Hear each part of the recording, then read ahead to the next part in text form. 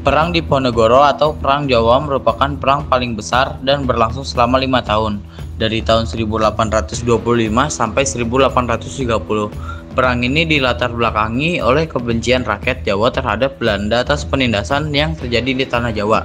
Sesuai dengan namanya, perang ini dipimpin oleh Pangeran Diponegoro yang merupakan pangeran dari Kesultanan Yogyakarta. Dalam sejarahnya, sejak kedatangan Marsekal Herman Willem Dendels di Batavia, pengaruh kolonial Belanda semakin kentara di Pulau Jawa, khususnya Keraton Yogyakarta, di mana Dendels mengubah etiket dan tata upacara yang menyebabkan terjadinya kebencian dari pihak Keraton Jawa. Ia memaksa pihak Keraton Yogyakarta untuk memberikan akses terhadap berbagai sumber daya alam dan manusia dengan mengerahkan kekuatan militernya. Pada pertengahan bulan Mei 1825, Semisar memutuskan untuk memperbaiki jalan-jalan kecil di sekitar Yogyakarta. Namun pembangunan jalan yang awalnya dari Yogyakarta ke Magelang melewati Muntilan dibelokkan melewati pagar sebelah timur Tegal Rejo dan Belanda memasang patok-patok perbaikan jalan di sepanjang makam leluhur Pangeran Diponegoro. Akhirnya Pangeran Diponegoro menggantikan patok-patok tersebut dengan tombak sebagai tanda pernyataan perang terhadap Belanda. Pangeran Diponegoro melancarkan strategi perang melawan Belanda selama lima tahun. Ia menggunakan taktik gerilya dengan melakukan pengelabuan, serangan kilat, dan pengepungan tak terlihat.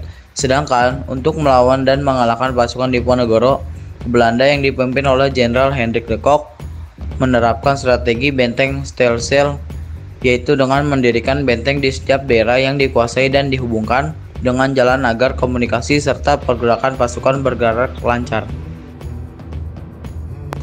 Pada akhirnya, strategi benteng Stelsel ini berhasil memecahkan pasukan lawan sehingga lebih mudah untuk dikalahkan. Di mana pada tahun 1829, Kiai Mojo sebagai pemimpin spiritual pemberontakan ditangkap. Akhirnya, pada 28 Maret 1830, Jenderal de Kock berhasil menjepit pasukan Diponegoro di Magelang. Di sana, Diponegoro menyatakan bersedia menyerahkan diri dengan syarat sisa anggota laskarnya dilepaskan. Oleh karena itu, Pangeran Diponegoro ditangkap dan diasingkan ke Manado, lalu dipindahkan ke Makassar hingga wafatnya di benteng Rotterdam pada 8 Januari 1855. Alasan mengapa Pangeran Diponegoro berusaha melawan di antaranya adalah penderitaan dan kesengsaraan rakyat akibat pajak, adanya campur tangan Belanda dalam urusan istana, munculnya kecemasan di kalangan ulama karena munculnya budaya barat, Kekuasaan raja-raja di Yogyakarta semakin sempit karena di daerah pantai utara Jawa Tengah dikuasai Belanda. Kaum bangsawan merasa dirugikan karena sebagai besar sumber penghasilan diambil alih oleh Belanda.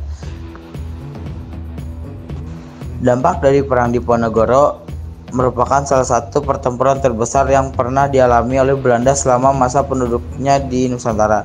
Akibat perang ini, Penduduk Jawa yang tewas mencapai 200.000 jiwa, sedangkan korban di pihak Belanda berjumlah 8.000 tentara Belanda dan 7.000 serdadu pribumi.